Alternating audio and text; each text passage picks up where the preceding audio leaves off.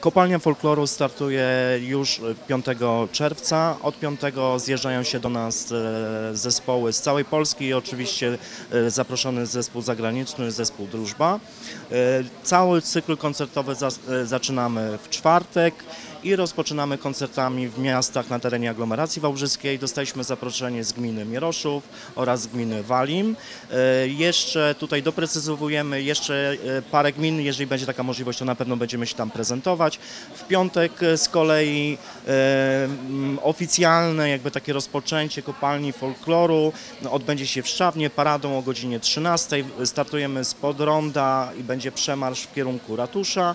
Mm, O godzinie 17 z kolei na terenie Starej Kopalni w sali łańcuszkowej e, koncert inauguracyjny, a jednocześnie koncert e, zamykający sezon zespołu pieśni i tańca Wałbrzych.